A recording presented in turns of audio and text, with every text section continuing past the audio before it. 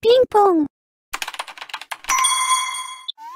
こんにちは。いや、今日も張り切って部活よろしくお願いします。って、ん何これ？ショート葵ちゃんテレカオブ。ショート葵ちゃんテレカオブとは、ショートカットの葵ちゃんをひたすら供給する、ツイッターのハッシュタグのことである。突如として現れたこのタグに惹かれ、ノリと勢いで描いたイラストは過去最高のサボり具合。このハッシュタグで検索をかければ、他の絵師さんが描いた素晴らしいテレカオ葵ちゃんを堪能できるので、興味のある方はぜひチェック入部をおすすめするぞ。そんなのいらないから。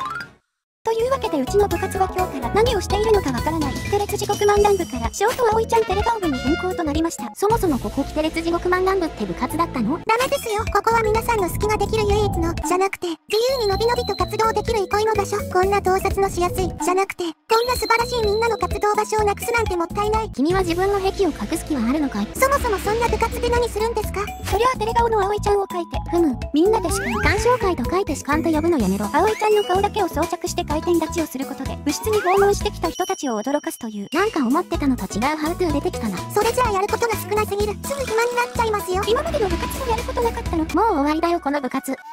いいですか葵ちゃん。この部活の本質は、葵ちゃんが、葵ちゃん自身で興奮できるようにすること。いやいやいやいや。ああ、そういうことなんですね。今の話で理解示すやつなんなの？デートマツはどうでしょう？これで興奮できそうですか？いや、さすがにちょっと。じゃあテレ顔だけならどうですやってみないとなんとも。ではこれ。ドン、のりくそ汚くて草。あ、ちょっといける。嘘だろおい。わかりますよ。次はこの目が邪魔なんですね。この状況下への理解度高えのなんなんだよこいつ。ではメモいっちゃいましょう。ドン。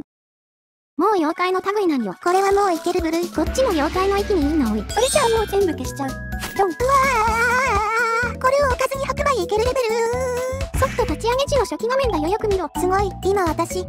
私自身でもいける。すごい、なんか文面だけ哲学みたい。誰でも自分自身で興奮できるようになる。ショート葵ちゃんテレナオブ。これはすごい。入部希望者は、僕入部希望者。とコメントしてね。誰が入るねん。